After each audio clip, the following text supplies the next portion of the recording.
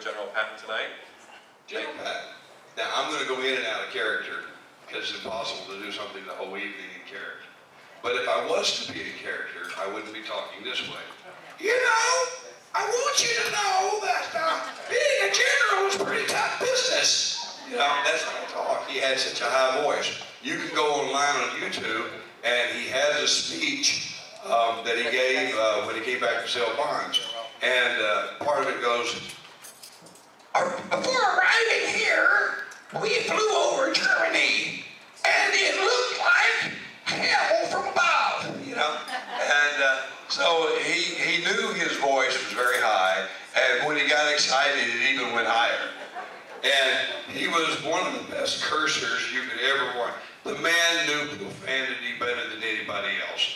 And he could just rattle it off, and you wouldn't even know you heard a curse word. And he would use he would use a curse word that had two syllables, and he'd stick another curse word in it, and he would finish with another curse word. And he did that among his soldiers because that got their attention. Uh, but yet he could sit down at a banquet like this and have all the manners that he needed and use the proper English and not use a single word that was out of place. It was a show that he did. He knew that he had to be this person to his soldiers and this person as a diplomat and when you see the movie and they said that he wasn't um, politically inclined, don't you believe he played politics all the time?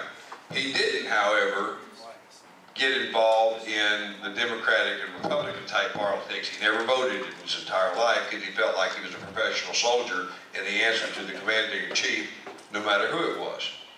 But as far as politics went, he knew how to play it. Um, so he was an interesting character. So what we're going to do is we're going to talk about the real Patton tonight. He's nothing like the movie. Um, the movie is a caricature of what people thought he might be like. Uh, it was made without half the staff participating because they wouldn't be involved in it, nor would the Patton family be involved in it because they was afraid it would be a hatchet job. Now later they came to understand that it was a good movie, and uh, George Patton's son actually uh, enjoyed the movie. He was there with his kids, and uh, one of the uh, Patton's children uh, saw their dad begin to tear up, and he realized that the fellow on the screen was actually related to, and his dad knew him, and it was his grandfather. So it was uh, it's an interesting way that the family had had not understood how the public had thought about Patton because he was a very controversial figure in his life. Um, so he was born in 1885, November 11th. Now, does that bring it down? See, November 11th. And so uh, when he was a child, he always thought about being a soldier. That was something he wanted to be. Now, he grew up in California and in California, there was quite a few veterans from the Civil War, and he had relatives that fought in the Civil War. He knew the Confederate General Mosby used to come by his house and talk with his dad, so he knew a lot of the Confederate generals and a lot and soldiers, and a lot of the Union generals and soldiers. So he grew up around real history. And he didn't go to school for a long time in his life. He was tutored at home. His family was well-to-do. And so it was not really necessary, but they knew that they were going to have to do something with him because all he thought about was being a soldier. Now let me set the times for you. Being a soldier back then was not an honored profession as we see it today. Uh, Patton would, uh, talked about seeing signs, uh, especially in the West when he served, that said there would be no Indians, no dogs, and no soldiers, and in that order. So it was not an honored profession that he was going into. And so, but he wanted to be a soldier. He went to VMI, and then he got an appointment to West And he worked at it. He, he graduated at about midpoint uh, in, in, the upper part of um, West Point, and uh, had uh, took five years because he didn't do well in math. Some say he was dyslexic, but that's never been proven. But he didn't do well in math but he excelled in all the other things that he, had, that he could. And uh, his first time to represent the service of any notoriety is, is, is he was in the 1912 Stockholm uh, Olympics. It was held in Stockholm. He did quite well. And he, it is said that he could have won it. He was an expert pistol shot. But when they um, went ahead and tallied up the target, he had nine holes instead of 10, and they said that he missed. Well, that was before they put another target after, behind it after each shot. And today it's probably understood that he actually made such a big hole in the target that the last one went through and had, didn't register. Had that happened, he'd have won a gold medal. But as it was, he didn't. And uh, so that was, he was an athlete. He enjoyed those kinds of things. Then he found the love of his life while he was in West Point. Her name was Beatrice Ayer, and uh, she was from a well-to-do family. And Frederick Ayer, her father, uh, was a land baron. He was a millionaire in his own right.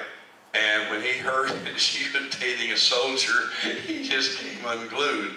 But the family was well known. So sometimes you can't do anything about who your children fall in love with.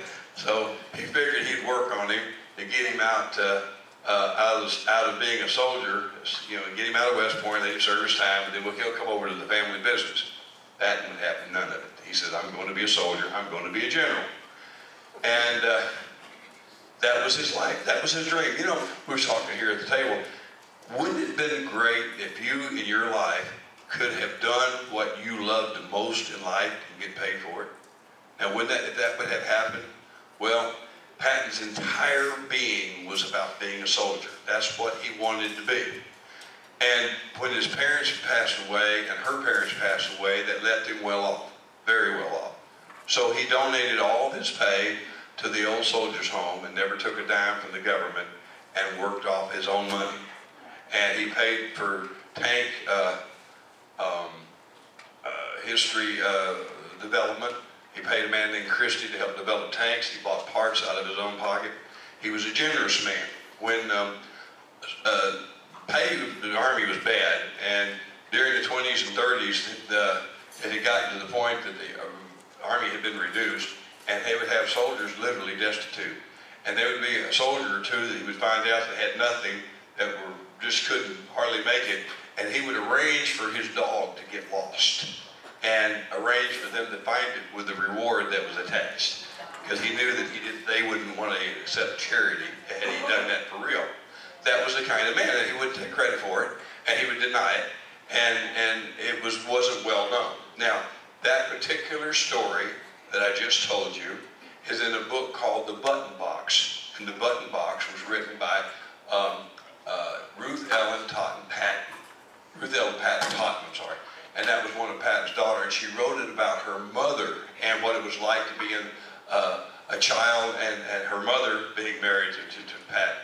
And so as I go along and tell you about some of these things, I'll tell you the books that you can find it in and where you can go look it up yourself. So, and I'm not perfect, so should I err, you can go and, and, and I'm not going to talk a long time as just a talking head. I'm going to stop here in a few minutes and let you ask all the questions that you want to ask as for as long as we have time for. Uh, but anyway, that's, that's how the man was. He wasn't quite what you thought he was. Now, I'll give you an idea of, of, of his thinking pattern. Um, when he was a young lieutenant, he um, was a, uh, in, the, horse cavalry, actually rode horses and taught how to ride. He was an extremely good rider. He was in polo teams. In fact, the Army pastime for the U.S. Cavalry the Mounted Division was to play polo because it kept them uh, on their toes doing uh, uh, riding horses. And he came up with a saying, and you probably heard it before, do not take counsel of your fears. Have you heard that saying Patton said? Let me tell you the story behind it. When you joined the cavalry, especially if you're not a very good rider, you had to learn how to really ride a horse. It wasn't just pleasure riding, it was serious riding. You had to do it full mounted with guns and sabers, and you had to do up countries and jump over things, and you had to learn the English style of writing with two bridles, and it was a complicated affair. Well, he had uh, his new recruits as a young lieutenant. He had them on the top of a of a hill, and they were to drive uh, to ride down this hill and uh, actually cross a river and come back. They had never done that before, so he gave the order. and the sergeant uh, lined up the men, the bugler blew the call, and the horses came, was heading down the hill. Now these were remounted horses. The horses actually knew the bugle calls. Even the soldiers weren't real sure, but the horses knew what they meant, and they were with the horses. And then they were given this order. And if you if you think about a 45 degree uh, ride down a hill, you know that horse is, is leaning back, and you have to lean back. If you lean forward, you're going off. And before they got to the end of it, then they're going to cross this river, and the river is over the horses' heads, and then they're going to come back around and go back up the hill. And these men began to get jittery, and they scared him. You want me to do what? We're going to go, with it. and there they went. They had no choice about the matter. Well, they got down, they got across, and they got back up. And he says, do not take counsel of your fears. Now, here's what this means. Before they'd ever done it, they were afraid to death. And the difference between that and having done it a few times is they now knew how to do it and they were afraid of what they didn't know. And when you're afraid of something you don't know and you've never been there before, you become very afraid. And they were taking counsel of their fears before they ever learned what it was they needed to do. Once they were trained, once they knew what they were doing, they understood not to take counsel of their fears. And this type of thing carried over into much of their military training because they were aware that the more you knew about what you were doing, the better off you were. Kind of like in police work. You do it over and over and over again in policing until that you have a second-hand understanding. Like if you're in a car and you're going to be in a high-speed chase, I'm talking to this guy, I'm paying attention to me. I happen to know he's a former chief of police. and uh, so um, the uh, uh, you get to where you can do it quite well. Have you ever gone someplace and all of a sudden you get there and you go, I don't remember getting there because you've been there so many times and you're thinking about something else. That was the kind of training that he wanted his men to do. He wanted to be able to take a rifle apart, put it back together again quickly, and blindfold it.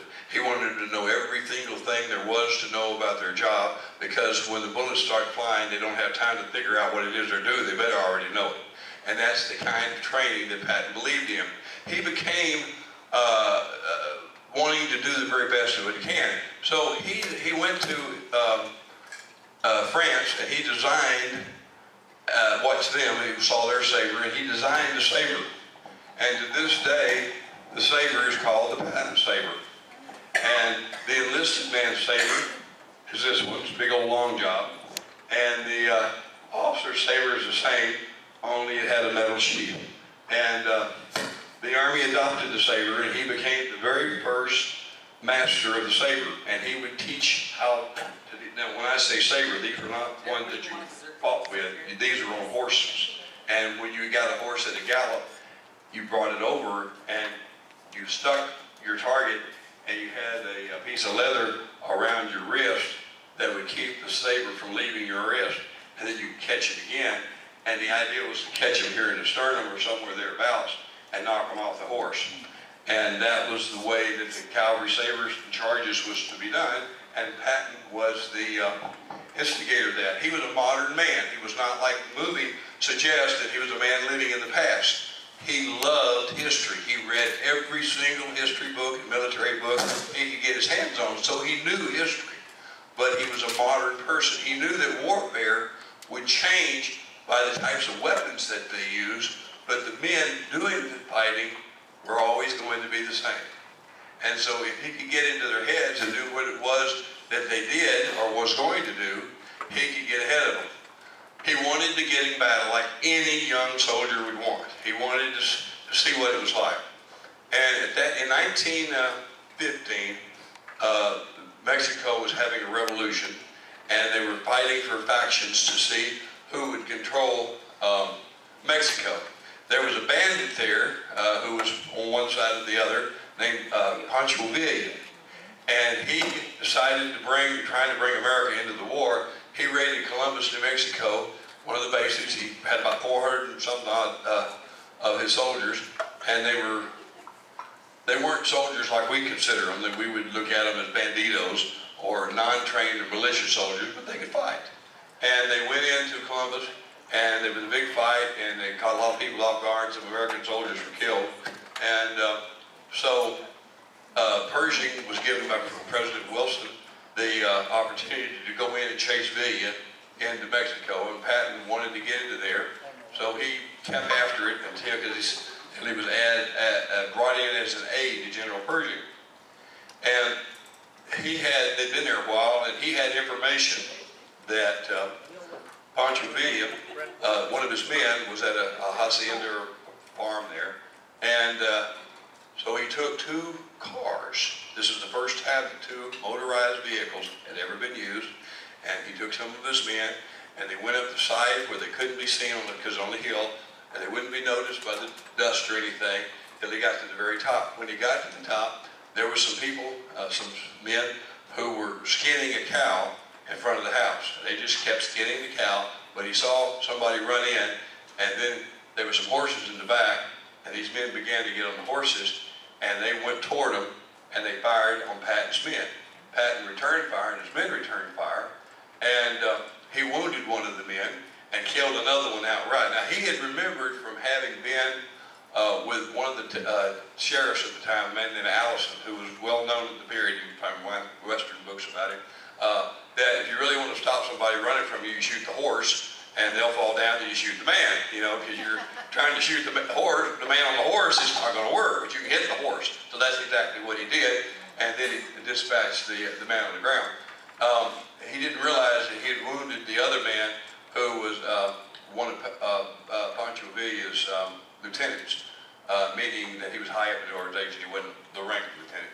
And so his his men, he was in, crossing the crossfire, and he's afraid he get shot himself by his men. So he went behind the building with some of his other men, and uh, the man began to go, and his name will come to me in a minute, began to go to the side of a, of a uh, fence to get away and acted like he was going to surrender and dropped his weapons down. And just as the men came up, he brought his weapons back up, and one of Patton's men shot him in the head. And that was the end of that. And so Patton, this was the first time they had anywhere close to being toward Pancho Villa's men. So Patton said, hmm. So he took two dead soldiers and he put them across the touring cars. He got the saddle uh, as booty, and uh, he toured. He took the, the, the soldiers that he just killed and brought them all the way to General Pershing's tent and dropped them out and say, "Hey, look what I did." And, and you would, by today's standards, that would be a little bit rough. What rank at that point? He was a lieutenant. And, uh, but what it did is it made the um, uh, papers, because the, the raids and they hadn't found uh, Pancho Villa, things were not going well, and he was at least something they could point to that did go well. And that's when he got his first shot of ever being in the paper, was then. And he put two notches on his single action revolver, uh, 1873 uh, Humbuster pistol that he carried all the way through World War II. That's where the two notches came from. Um, President Roosevelt asked him some years later about that incident. He said, did it bother you to kill those two men? He said, no, but it did bother me to kill the horse. and uh, uh, he was happy about his luck of having to be a soldier, and that's what he was there for. Wars are about killing, and they always have been. You keep killing the enemy till the enemy, you run out of the enemy or they surrender. It's just that simple. Once the, all of the diplomacy is it. If you're in a war, you fight the war to begin to win it. You don't fight it to come to a stalemate.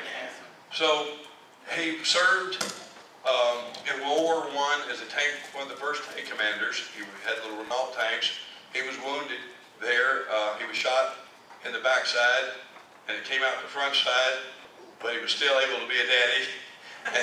but it was close. And uh, years later, he was uh, at a party like this, and they questioned him being wounded. and He was angry at the people anyway, so he stood up on the table and showed them where his wound was. that was he, he was kind of flamboyant. Um, so uh, he uh, after the war, after World War One, uh, he, he, he got several medals and, and uh, Distinguished Service Medal, Distinguished Service Cross and uh, uh, he got a wound badge, which was a, stripe on the World War I uniform. And later, when the Purple Heart came out, it was converted to wear a Purple Heart. The first ones were on a striped uniform. So he was there during, during uh, in between the wars. He uh, participated in as much training as he possibly could.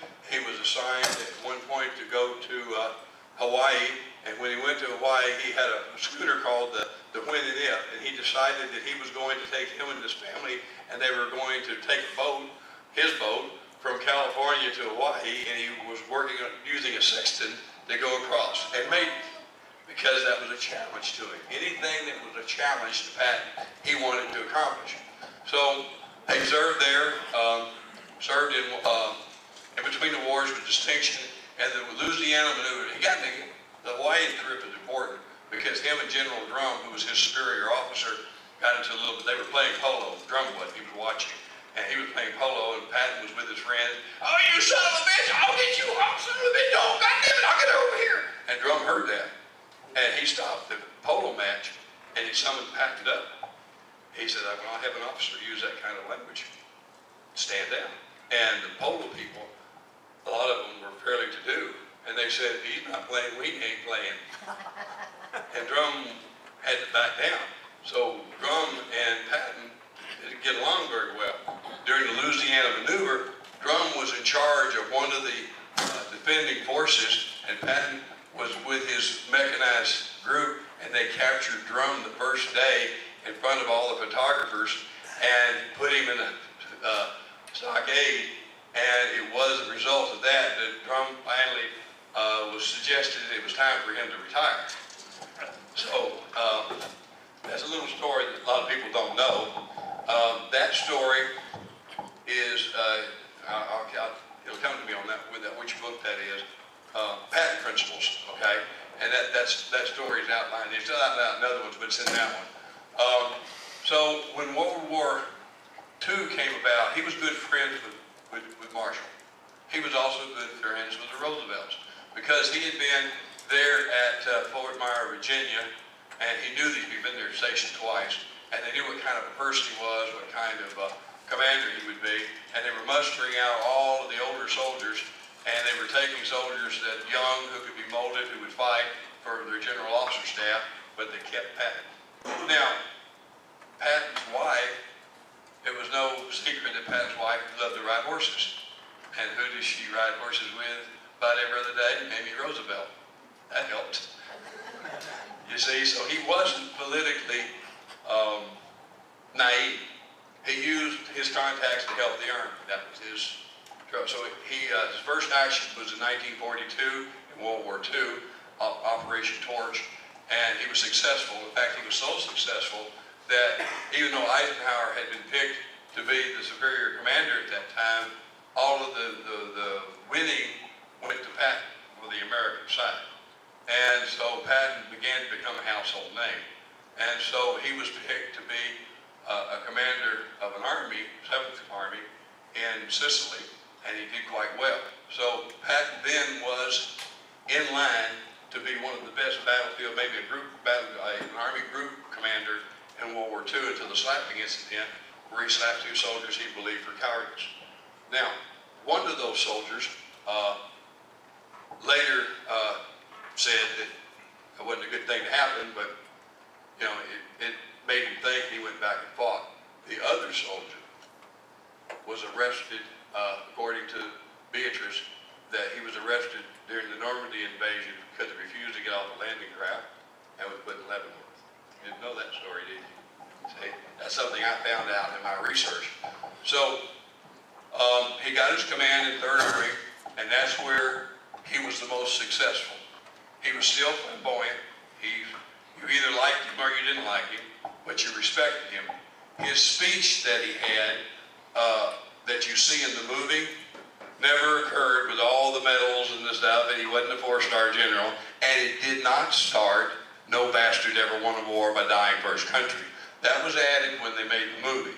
General Gavin, who an airborne general, had heard Patton say that in a private conversation. And they were talking about uh, soldiers not giving their life for their country.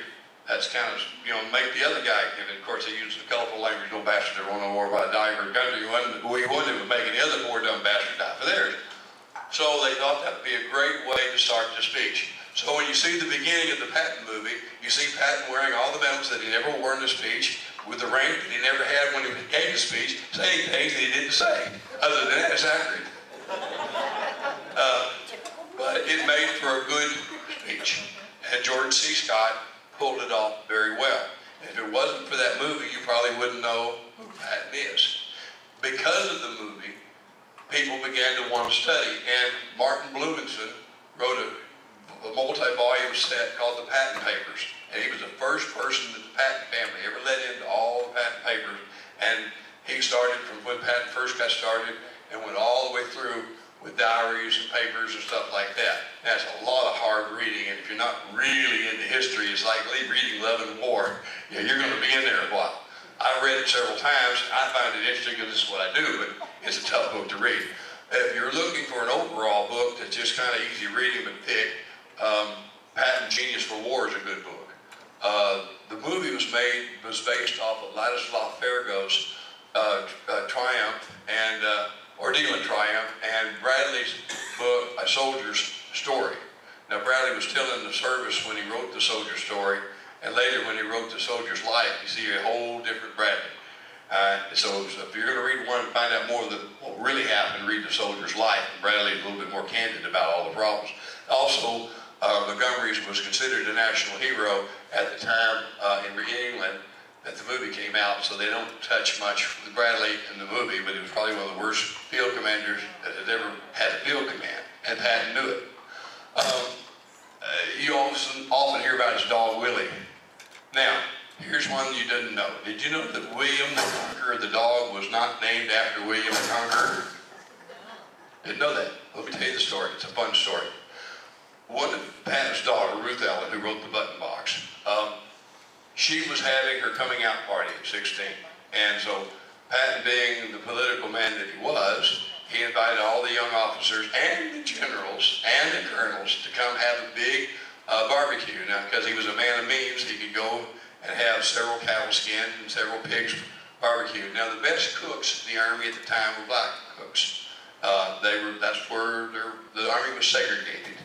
Uh, but they could cook, and they could cook well, and Pat knew it. So it was during the Depression, and there was not much food to be had. So he asked all of the black cooks to bring their families and their kids, even though it was segregated and they were on the other side. They did all the cooking. So he's inspecting all of the, the, the trimmings, and he went around the corner, and there was a little black fella, little boy, one of the cook's sons, and he was doubled over if you've ever gone and not eaten for a long time and you eat a big meal, you know how it can get to you. This kid had never had a meal like that. He was as full. He was doubled over. He says, oh, I'm little Willie Wimple. I'm so full, I'm as full as a tick. And I didn't hear as full as a tick. So Patton remembered that. And Patton had always enjoyed English Bull Terriers. They had one named Tank, but it was bred too closely and it couldn't hear. And so they had a dog that couldn't hear, and you know, it, it could recognize the uh, uh, the beat and recognized by look, but he couldn't. And so Patton always wanted to have an English Bull Terrier that was full-blooded and right. So when he got to England, uh, he asked Lady Lease, who was one of the British general's um, uh, wives, and Kay Summersby, who was General Eisenhower's driver and lover, um, if they would find him a real English Bull Terrier, a good one. And there was a uh, English RAF officer who had a little pup named Punch. And he had taken him up on the night flights during the raid. You could see the British bombed Germany at night. And he had taken it up the little fella uh, on the plane. But one night he decided not to take his beloved dog Punch up, and he didn't come back. So the dog became an orphan. So Patton I was presented with this dog named Punch, and he looked at it, and he was kind of scrawny, and he needed to be fed. And he says, I'm going to make you as full as a tick. And he remembered the little black boy, and he named him Willie Wimple, not William the Conqueror.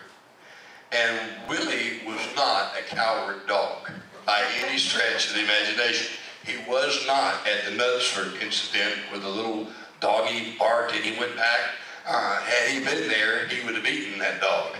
And in fact, he got in a fight with General Eisenhower's dog, little Scotty, and under the table in November of 1944, and they had to pull the tables loose, and there were several generals sitting at the table, including Eisenhower and Bradley, and they had to pull the two, dog, two dogs apart.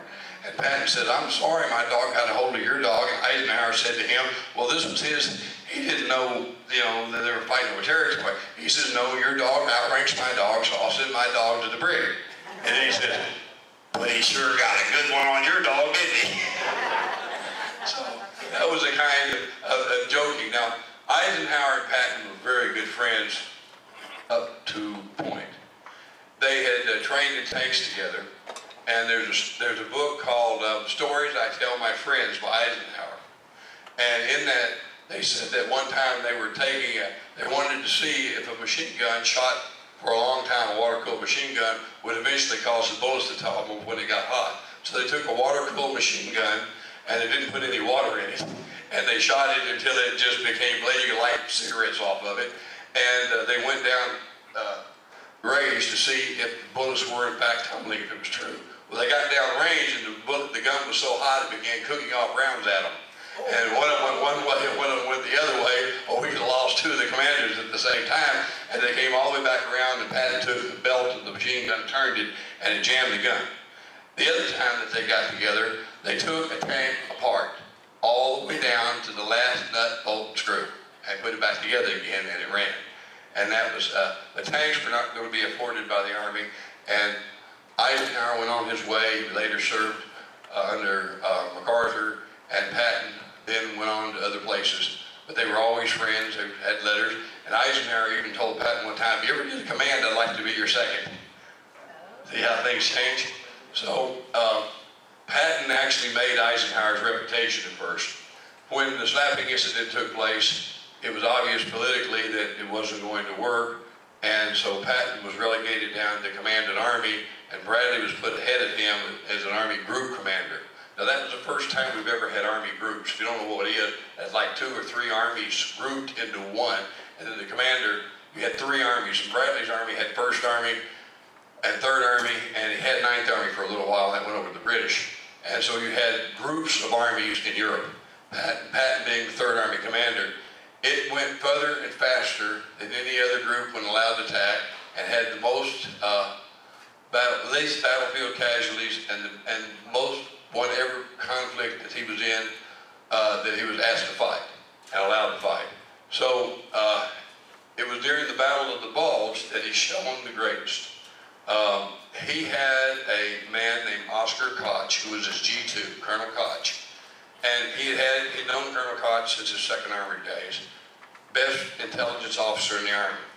Koch took a running tally of all of the German troops that they ever had. He kept lists from everywhere. And as the Germans capitulated or they were in Italy or wherever they were in North Africa, he kept lists. So they were planning what was called Operation Tink, and they were fixing to engage in it, and Oscar Koch went to um, the general. He says, sir, he says, I have a list of all of the German units that are in our sector except one. There's a dark area over here. I have radio contact, and we've talked to all of the different uh, troops that have been captured in the area, but over here, and I'm missing this unit, this unit, this unit, this unit commanded by this guy and this guy, and I know that the, this unit left Italy on, on railroad tracks and then they're gone.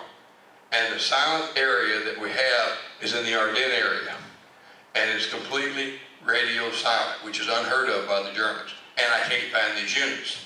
Sir, they had the capability of attacking if these units are there.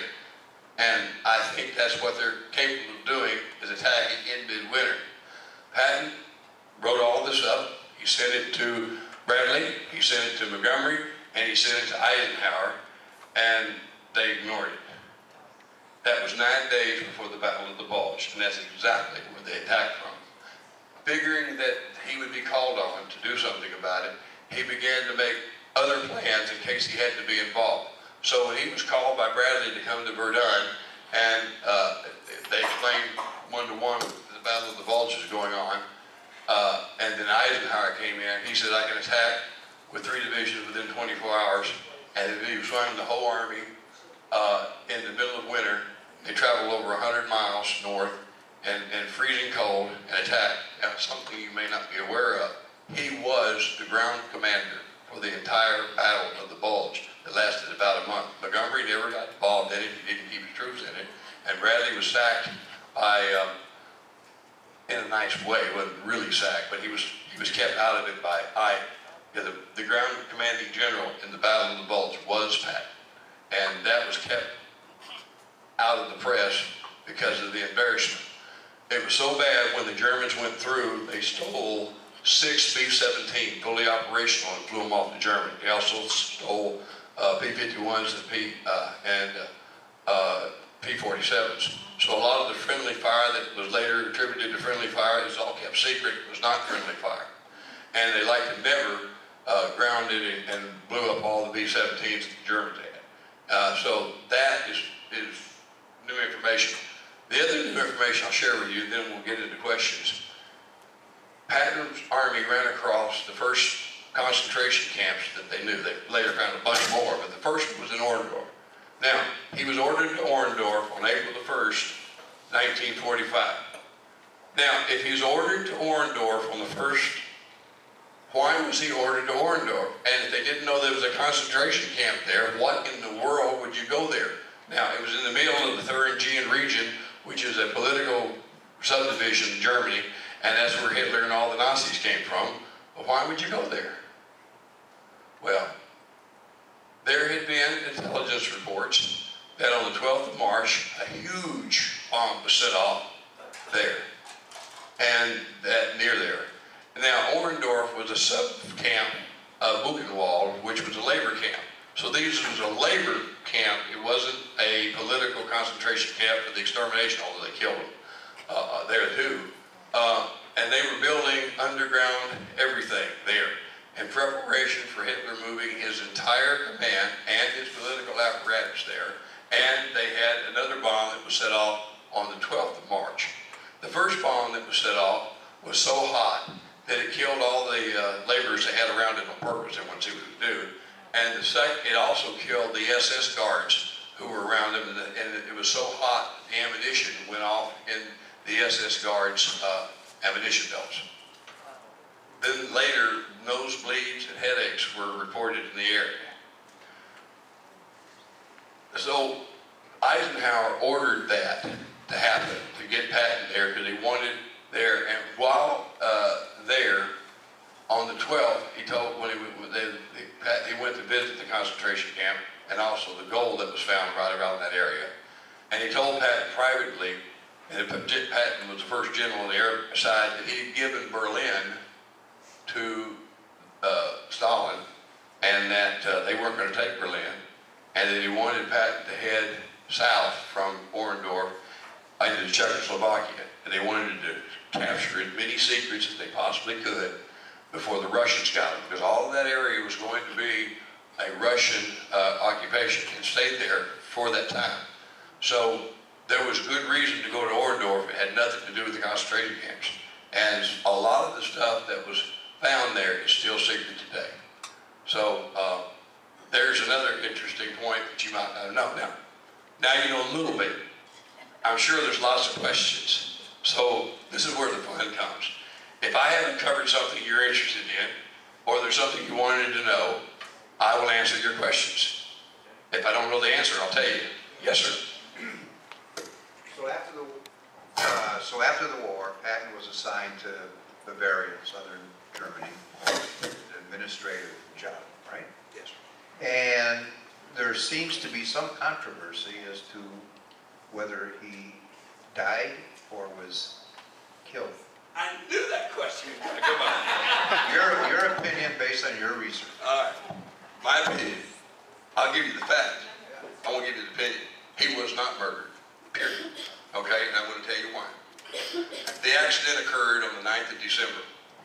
On the 10th of December, he was scheduled to leave and go back home. He didn't know he was going pheasant hunting that day. The night before, General Gay, who was his best friend and chief of staff, said, look, why don't you go pheasant hunting tomorrow? We go to Mannheim. We, there's some pheasant there. So he wanted to go hunting. His driver didn't know they were going. His driver's name was Horace Woodring. He was out partying that night. He get wake up in the middle of the morning, uh, early in the morning, and was told they were going pheasant hunting.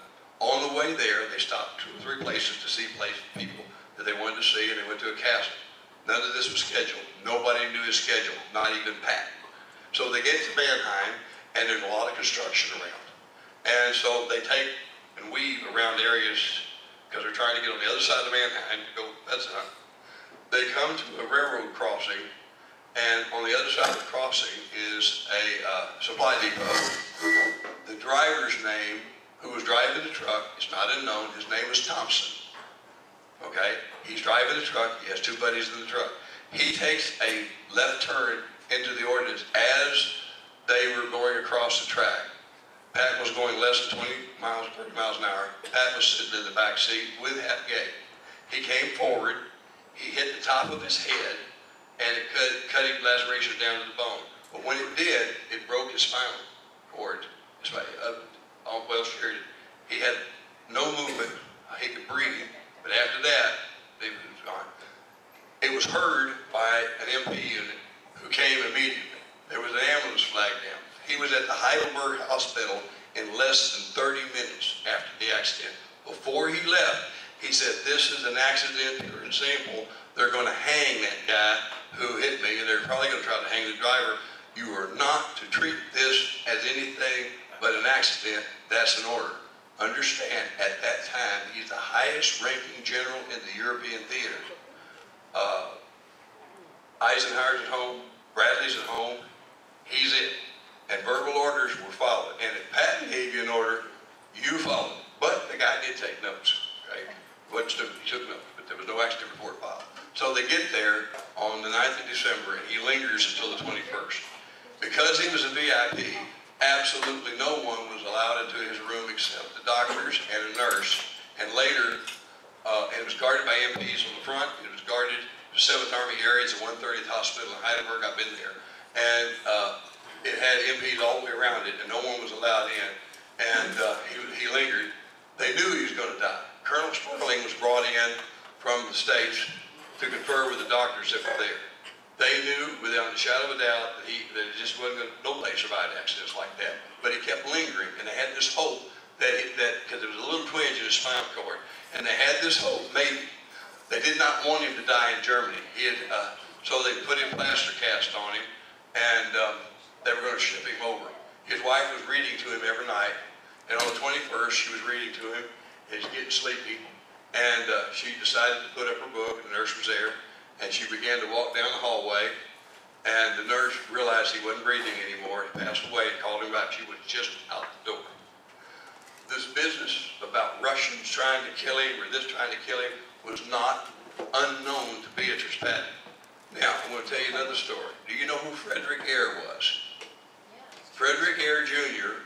was Beatrice's brother's son. Now, that didn't help him much. You know what his job was? He was the bureau chief for counterintelligence of the FBI in the European theater. So guess who she asked to investigate to see if he was really killed? So the story was settled until a guy named Bazata, about 15, 20 years later, at an OSS meeting, stood up drunk and said that General Donovan had paid him $10,000 to kill Patton. Now, General Donovan, Donovan was head of the OSS, but he was also Patton's friend, and he was a Medal of Honor winner from World War I. It just didn't match. So he kept with the story, and a, a, a movie came out called uh, The Brass, something or other, Brass Target, with that story where Patton was shot in the back with a, with a bullet bullet because the window was broken, and you know, and, and it just didn't happen. See, he's one of my, he's, he's helping along. All these guys are historians. They can tell the story as good as I can because they studied the same stuff. And so then that's money, okay? You have a conspiracy. You know, how many times have you heard who killed Kennedy? You know, and if you listen to uh, somebody's going to be killing somebody, or Bill Bill O'Reilly's going to be out of business. So uh, that uh, thank you. Um, so you get now that chocolate, that cake better be there when I get back. All right. So uh, um, you that's I've asked that a lot. It just didn't happen. It's too incredible. Nobody knew anything about where he's going, including him. O'Reilly's book sort of gives you. It gives you an idea that maybe they might have, and the Russians, there were a lot of people that would, they, it just didn't happen. But if you're trying to make a lot of money, killing Patton's going to work out just fine for you. Now, when my books come out, I hope that works out even better for me, and I'll tell the truth. All right, next question. Good question. I knew it was coming, though, I was ready. You have any other questions? Anything you want to know? Yes, sir. As a young boy growing up in central Illinois, My father's best friend was a medical doctor. And he claimed, and I didn't know, I was not smart enough to know, still am not. He claimed that he was one of Patton's Jeep drivers, and all of his Jeep drivers were medical doctors. Do you know, can you comment on this? Totally false. Totally false. Sergeant Mims was his driver from the time they were in the States all the way through. Sergeant Mims left to go back to the States in May of 1945. They had another uh, driver that was assigned. There were drivers in the motor pool that would occasionally drive Patton.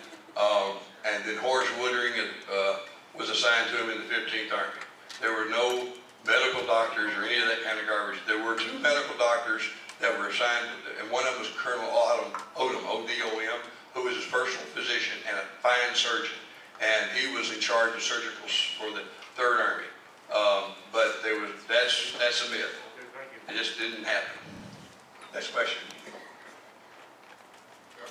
Oh, yes, get down. Uh, Would you speak some about the Panthers, the black, The Black Panthers, the, the, oh, yeah, yes.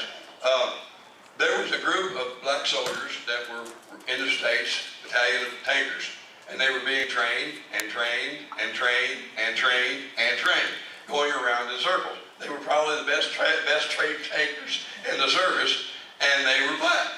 And people thought that they didn't have the capacity to be good tankers because you had to be quick. It's the same thing with Tuskegee Airmen, same issue. But Patton needed soldiers, and Patton heard about it. He says, "There's a whole tank battalion. Send them." And they came, and he came up and he he visited with them, and he said to say, he says, "A lot of people think that black soldiers can't can't do tanks." And I know that people are going to say that to you, but damn it, you're in my army, and you're going to be the best soldiers around. I don't settle for half a pay. I want you to go out there and fight. And uh, they did. And they were one of the highest uh, decorated group of tanking soldiers in World War II. 761st, I believe it is, isn't it? And they called them the Black Panthers. I've read the book. Anything had with Patton, I read. Now, I'll tell you about Patton and black people. You think he's people tried to paint him as, as, a, as a anti-Semitic or a, a person who was racist. Not true. During, uh, in England, they had a race riot where several soldiers, uh, black soldiers, were arrested because they were not allowed into places that the regular soldiers would be allowed into at the same rank. And they rioted about it.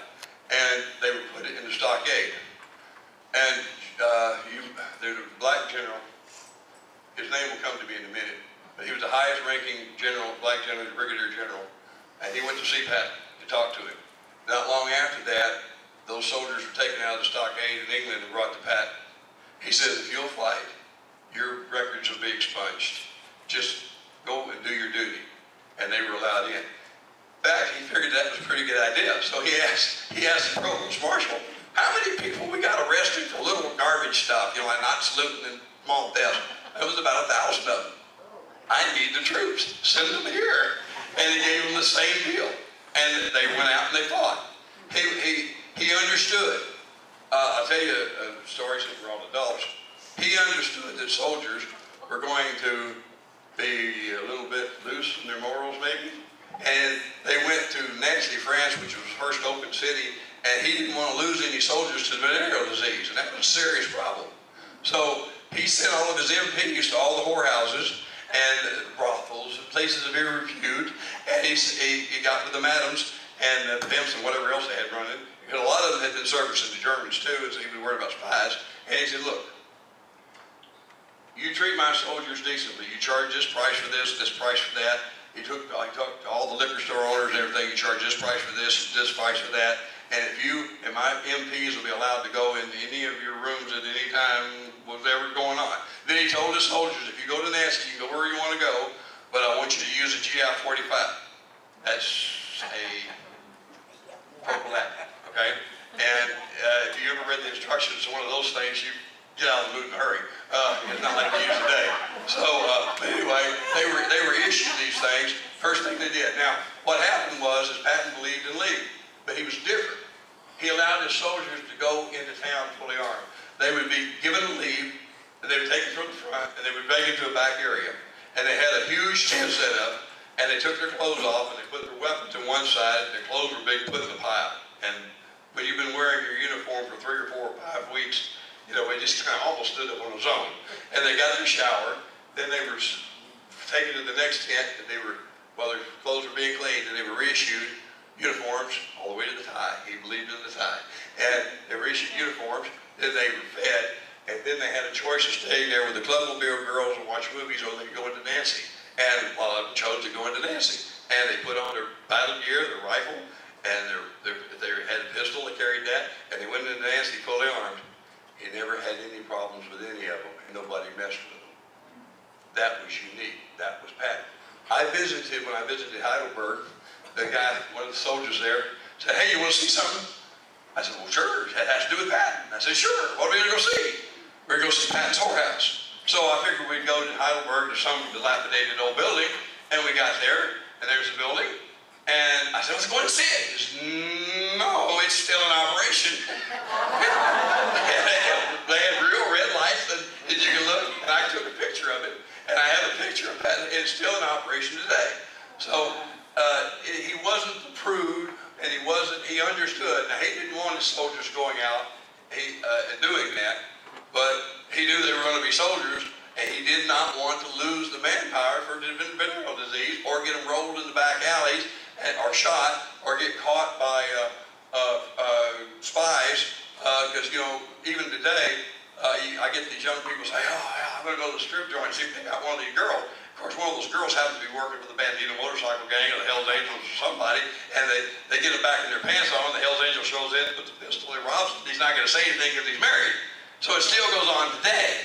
So Patton knew that it went on then, and he made sure he protected his troops the very best he could. So that's another thing about Patton. He was no prude, but he was not a fool either. So uh, he had that. You didn't, you didn't hear that in history books, did you? Any other questions? Yes, sir. I was wondering about the race over the Rhine and Pat's. Oh, he wanted to race the Rhine and lead in the Rhine. The, lead, the, the, Rhine River was not leading, but it was leading pond. Uh, uh, William the Conqueror, when he went through there several centuries before, uh, crossed the Rhine, and before he crossed, he took a whiz in the, in the Rhine River, which was considered a, a total insult, and then he fell on the ground and picked up some dirt, you know, and claimed it. Well, Patton, knowing history, decided that if he could do that, he would do that, and he knew that Montgomery was trying to get across the Rhine. So one night late, they decided they were going to cross the Rhine, and they, they, they went at night, and they sent swimmers across, and they tied a rope, and they, they began to get where they put the barges across, and they, uh, he got across, and he, and he called Bradley that evening and said, I'm across. You're across what? I'm across the Rhine. Ha! Damn. But don't tell anybody yet. They wanted to get across, and he had very few casualties. So Montgomery had invited Churchill, he was going to cross the Rhine first, and they had all the publicity up there, and Churchill was all up there, and they were ready to, to go across the Rhine, and so he said, uh, Patton crossed it last night. oh, you could have, Churchill was not happy, and, and Eisenhower secretly was thrilled, but he couldn't say anything because of politics. And so Patton got across the Rhine River, he dropped it, his, his uh, draw, well, he didn't drop it, Dory unzipped his zipper, and took a whiz while the camera was rolling. And then he went across, he put the dirt down and whap, and he said, and for this, and that was the ultimate insult that he could do toward Germany. Is that, was that the story you wanted to hear?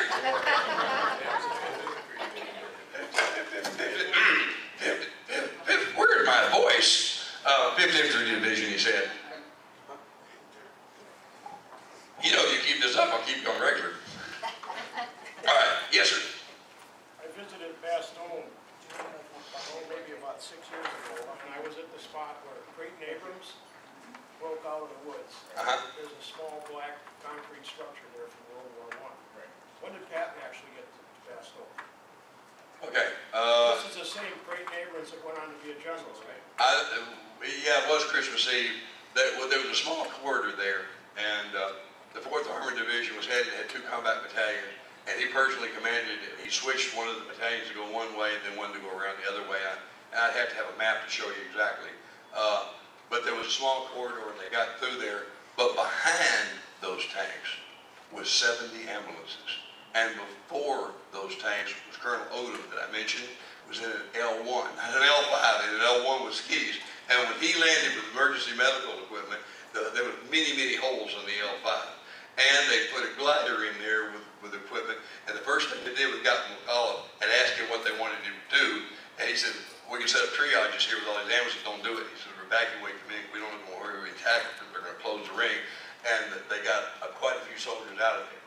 Other part of the story people don't know. So, uh, I have to see the map and the date. He says the twenty-first, right by Christmas. Uh, that's pretty close. Dates and times sometimes run together. This one, right at the moment, is running together for me. Is that, is that the date you had in mind?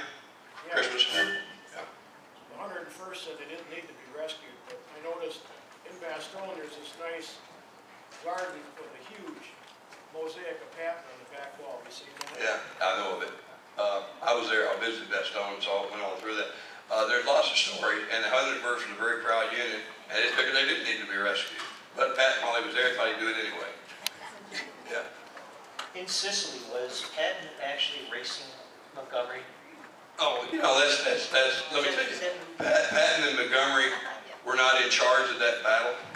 There was a British commander whose name will come to me in a minute, British general. He ran the battle. He knew exactly what Patton was doing, where he was going, but he had it cleared for him. I know it was, um,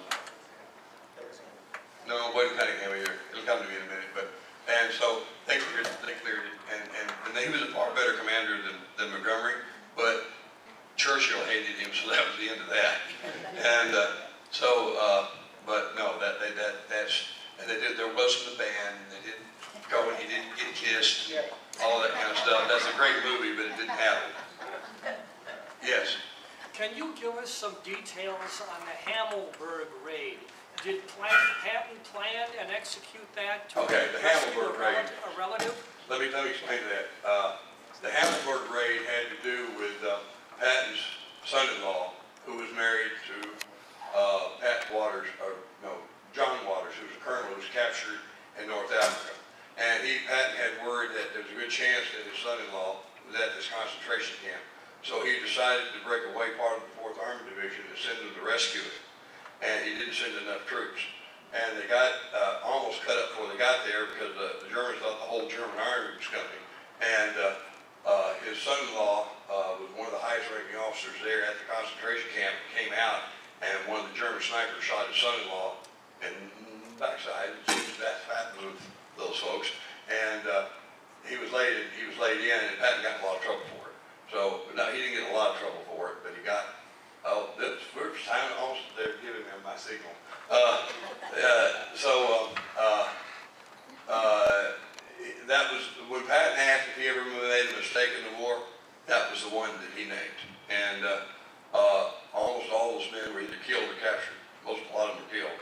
And over rescuing, and the question is, did he know that his son-in-law was there? The answer is yes. It's not a maybe. He sent one of his aide-de-camp, Al Stiller, there to go. You don't send an aide-de-camp to go, but Al Stiller knew his son-in-law by sight, and that's why he went. And his son-in-law told in the book, The Randall Hammelburg, that, yes, in fact, that, that he was there. So that answers that one. See, uh, a lot of these authors don't put in, or the movie tries to, to train, the Hammelburg raid wasn't even in the Battle of the Bulge movie. It was the, the concentration camp liberation. Okay, I've got to quit. If you want to buy the books, uh, they're there, thirty dollars for cash and thirty-five, we gotta do the little square thing. And That's new for us to do the square things, that may take a little while. And then we're gonna go from here, and, uh, we're gonna go tour Patton's headquarters, his, uh, command car, uh, the tent we brought that's got tons of stuff in it. And, uh, before, as you walk out, in these cases, because I was afraid that it would rain us out, you could at least see something. Um, I have act- some of this stuff actually belongs to Patton. I have a thermostat, uh, uh, thermostat, his thermos, and the, the leather case that he had. I have, um, over here, I have his, his razor. I have the license plate that came off his Packard. I have a necklace that he gave to a, uh, wrist necklace, wrist bracelet that he gave to a girl that, that did drive him. And I have a book that I gave him, uh, a prayer book in 1943 to Patton. So those are the real deal, and they're here so you kind of glance at it. And uh, I have pictures of Patton here, but like I say, I was afraid it was gonna get rained out, and I wanted you to see stuff you couldn't see. But now that you can see the stuff that you can see, we don't need the stuff you can't see. Am I double talking? Round of applause.